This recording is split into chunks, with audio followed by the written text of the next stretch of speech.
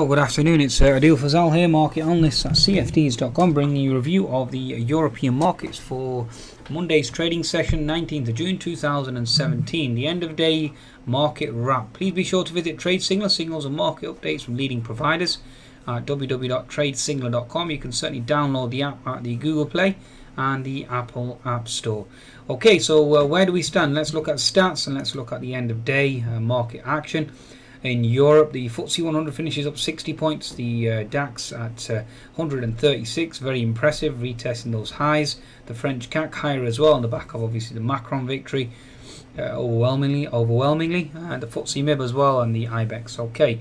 Uh, in terms of uh, fundamentals, let's just quickly run through fundamentals. There were very little far between in terms of the real market moving events. Uh, obviously, the market, given the fact that it focused on the, the uh, Japanese imports stronger than expected, Asian markets higher overnight as well. Uh, US equities pushing to new highs now, uh, certainly all uh, coming into a potential risk on uh, phase. The construction data out the European Union certainly came in more or less in line, nothing spectacular. Mr. Weidmann, again, his hawkish nature again. Uh, I think really the focus of Mr. Dudley's uh, rhetoric as well, given the fact that it sent the Euro USD back down to a 1.150 handle. Okay, but nevertheless, uh, the focus really does remain on the US uh, equities hitting new highs thus far with the S&P and the Dow certainly breaking to new highs, but the Nasdaq certainly lagging. So that certainly is a cause for concern. So bear that in mind. Mr. Dudley was certainly hawkish. Okay, so again, that's risk negative should certainly be interpreted as being risk negative, but the market certainly isn't. Uh, obviously reacting to it accordingly. So let's see exactly where we are technically. Uh, in terms of tomorrow, let's just quickly give a rundown into tomorrow's economic events uh, that will be of any importance. Uh, you have uh, German consumer PPI data, so inflation data out tomorrow morning. Keep an eye on that. RBA meeting or RBA minutes overnight. So again, that will be interesting keep an eye on, on that. Mr. Carney's speech, again, will be market moving at half eight in the morning. So uh, if you are trading the FTSE tomorrow, bear that in mind. Take that into consideration. Uh, Mr. SNB Jordan's speech as well. Uh, the uh, Switzerland uh, National Bank. So again, that's going to be interesting in terms of CHFs. Keep an eye on that. Okay, uh, European current account uh, will be interesting. See where we stand in terms of the uh, stronger euro, whether it's affecting exports, imports. Uh, the Mr. Stanley Fischer speaking tomorrow again. That will have an impact on the dollar. And the US current account again. It'll be interesting to see where we stand in terms of Mr. Trump's so-called growth and reflation trade. Red Book Index and then the global dairy auction. That'll be interesting to see where demand is for the dairy industry. And then you have Mr. Kaplan speaking in API data as well. So nothing really first tier other than the fact that uh, you have Mr. Carney really and uh, you have two central bank, three central bank speakers tomorrow. So it should be interesting in those currency pairs. Keep an eye out for them. Okay, now in terms of uh, the uh, technicals for the European market, let's bring that up for you.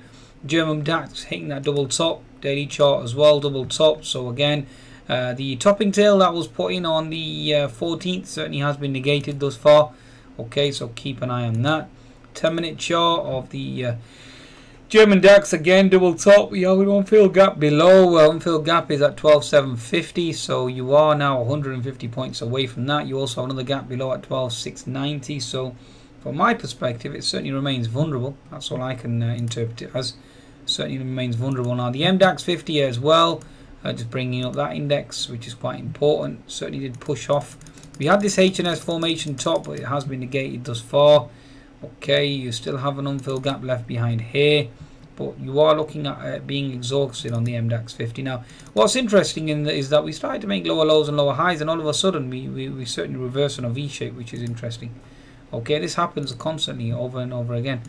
Okay, 60 minute chart as well on the uh, the actual uh, German tech sector. You are coming into gap fill resistance and therefore you are coming into weakness. Okay, you certainly did hold that double bottom. Again, I mean, you high, hit that high, you put in a lower high, and then you'd expect a lower low, and that wasn't the case. We, we had a reshaped recovery, so once again, very interesting. Okay, moving on to the French CAC now. Again, the daily chart certainly slap bang into resistance at the upper level at uh, 53.30.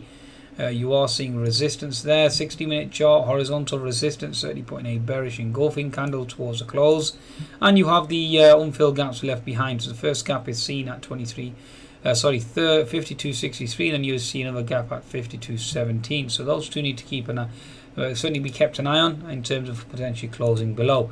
FTSE 100 certainly defiant today. Again, uh, daily chart still remains bearish for me.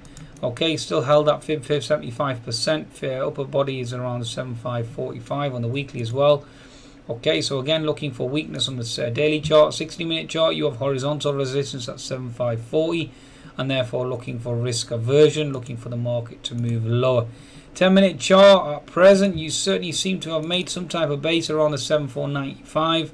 We really need that to crack in order to open the gap fill. That's uh, 7465, and then obviously you've got gap fill below at 7420. Now, given the uh, uncertainty regarding the election, uh, also given the uncertainty regarding Brexit talks, given the uncertainty regarding Grenfell also another terrorist incident overnight at a potential mosque.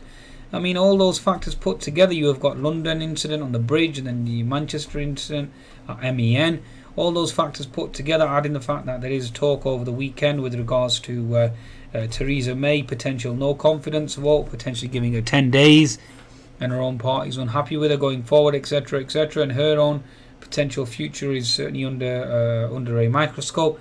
All those factors together would, would certainly indicate a lower FTSE, and that hasn't been the case. So political uncertainty certainly ignored altogether.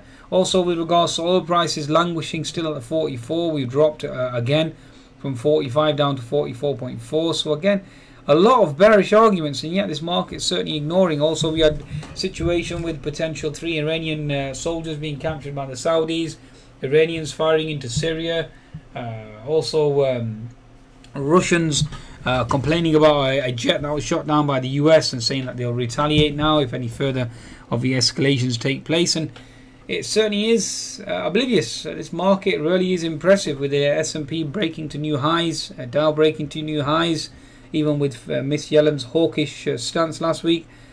Market continues to uh, uh, certainly puzzle and surprise us all. Okay. On that note, please watch for further weakness. From my perspective, if the German DAX holds resistance, then you are looking for further weakness on the FTSE, and you are looking for risk aversion to kick in. On that note, please be sure to visit cfds.com for your trading needs and take advantage of the bonus. And be sure to visit Trade Signal, signals and market updates from leading providers. Goodbye now.